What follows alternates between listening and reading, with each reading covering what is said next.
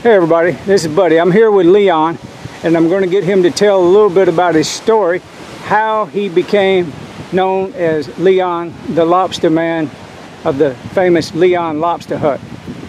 Yeah, actually I started out in diving. I was in Ocho Rios. Yes, I'm from a fishing village. My father, he was a fisherman, yeah. I started out in Ocho Rios, start to dive, I teach, I instruct diving. Then I leave Ocho Rios, came to Trelawny. After being in for like quite a few years, I migrate to America. I, I end up in California, started to dive abalone, come back to Miami. I didn't like Miami. I end up in Maine, started to dive sea urchin. Maine known as a lobster place, crazy lobster place. People come from all over the world to Maine just for lobster. So while I was living in Maine, I checked that out a lot. So when I come back home, I try to do lobster business on the beach yes, for a lobster business, like any other business, on the start it's so-so, but it's climbing up the ladder, and I give thanks for that. But thank God for Maine, you know?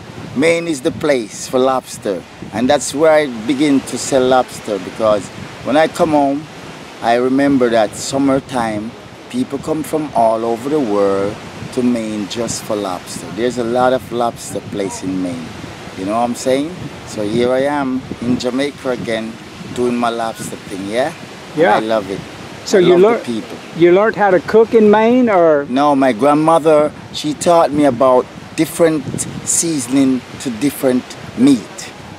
And I learned that from her. Lobster known as like it's good to have garlic butter with lobster or lemon, something some different sauces, you know? Yeah. That's how I learned about lobster. My grandma teach me about the different seasoning to the different spice to the different meat, you know?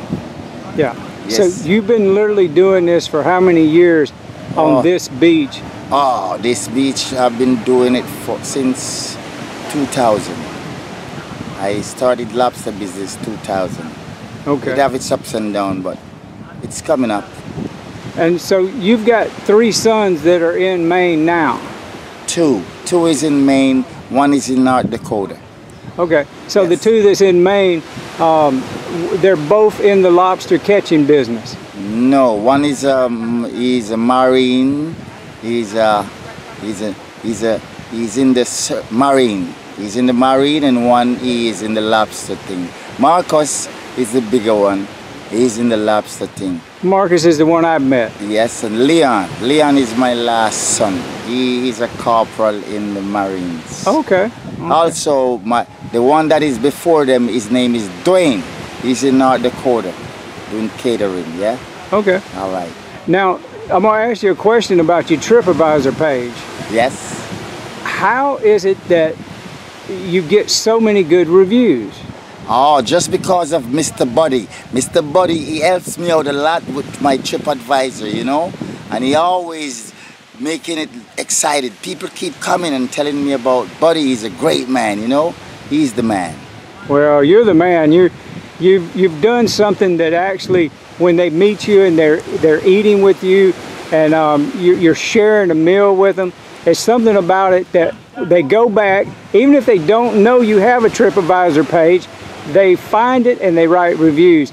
But yes, um, you, when you come here, all you got to do is compare his TripAdvisor page with the Royalton White Sand or the Blue Water, or for that matter, anywhere in this entire side of the island. His reviews are that good. Oh, yes. The hotel managers, they come and see me sometime and say, how, how on earth in heaven you, you, you got so much reviews? I said, it's a good work.